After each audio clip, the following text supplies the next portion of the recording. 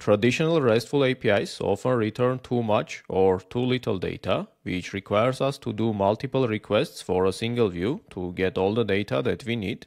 GraphQL solves this issue by giving clients exactly what they requested for, but designing GraphQL APIs is different from designing RESTful APIs. That's why in this video we'll cover the core concepts of GraphQL and why it exists, the schema design and type system of GraphQL, queries and mutations, error handling, and also best practices for designing GraphQL APIs. Let's start by understanding why GraphQL exists in the first place. It was created by Facebook to solve a very specific pain, which is clients needing to make multiple API calls and still not getting the exact data that they needed. For example, if we imagine we have the Facebook APIs like user API, posts API, comments, and likes for the Facebook page, most of the times client can make requests to all of these APIs separately and still not get all the data that it needs, which will require it to do multiple requests to the same API. This of course adds up to the overall latency of the page because the page is still not loaded until all of these requests are made and the data is fetched.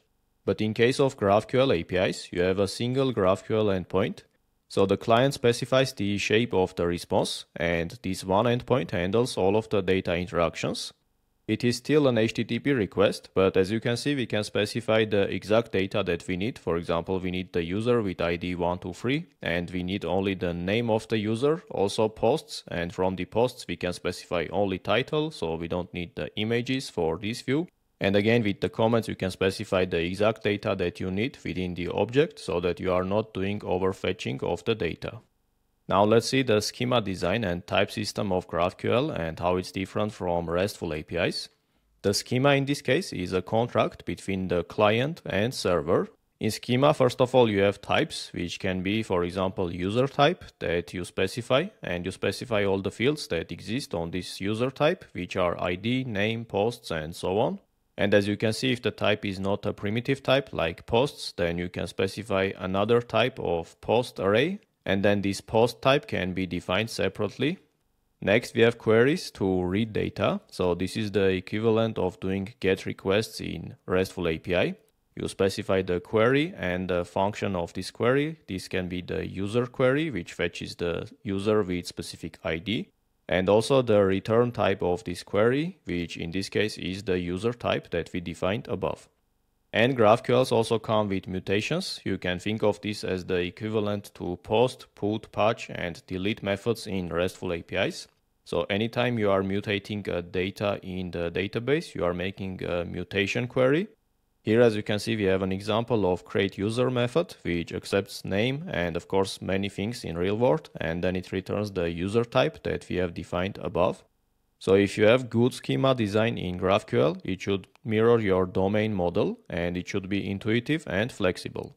Next, once you define the schema design and type system, you can start querying and mutating data with this GraphQL API.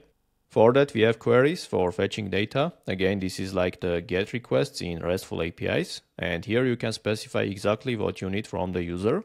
This is the same user method that we defined there in the schema.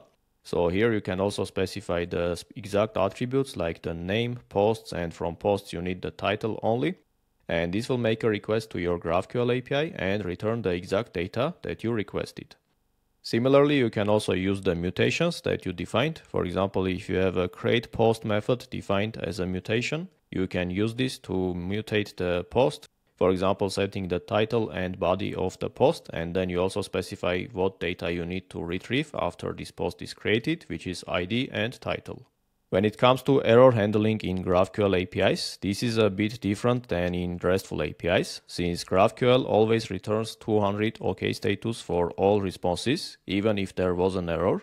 In this case, we have to return errors field in the response, which will indicate that there was an error, so partial data can still be returned with errors, like in this case we have the user, which is null, and then we have the errors field, which indicates that you have the status code 404, message not found, and path, which is the user in your schema.